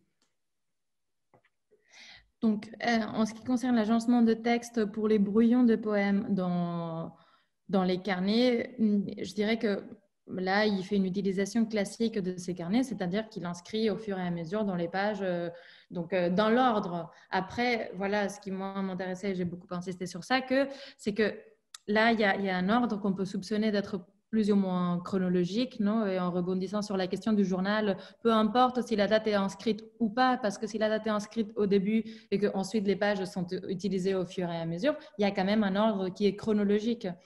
Mais en même temps, comme il est dans, dans la verre de carnet, il n'y a pas du tout un ordre clair. On n'a pas exactement l'impression que, que c'est-à-dire oui, il, quand même, il retourne quand même le carnet et quand il y a un texte qui se suit sur plusieurs pages, ça se suit aussi dans l'ordre des pages. Mais là, très clairement, il y a des notes qui se superposent. Euh, parfois, il ouvre le carnet au milieu et là, il y a des schémas et des choses euh, diverses. Donc, euh, il, y a, il y a... Mais donc, de ce côté-là, pour moi, c'est complètement aléatoire. Et par rapport au carnet et livre, ben, j'insiste à nouveau sur le fait que, voilà, moi, ce que j'ai noté, c'est seulement les titres de, poèmes. Donc, d'un côté, je n'ai pas les données sur des carnets qui recueillent de versions de poèmes euh, qui n'avaient pas de titre à ce moment-là, mais qui apparaissent probablement après dans une publication. Euh, ça aussi parce qu'en plus, à la Bibliothèque nationale, on m'a empêché d'accéder à la salle de réserve avec, mon, avec euh, l'ouvrage de poèmes de Marguerite. Donc, je n'avais aucun moyen de comparer, à moins que j'avais eu en tête tous les poèmes de Marguerite, ce qui aurait été euh, un peu compliqué. Donc, mais j'ai pu observer quelque chose, par exemple, mais, mais, mais c'est seulement un exemple, donc je ne suis pas sûre qu'ils suivent cet ordre-là. Mais c'est vrai que j'ai repéré.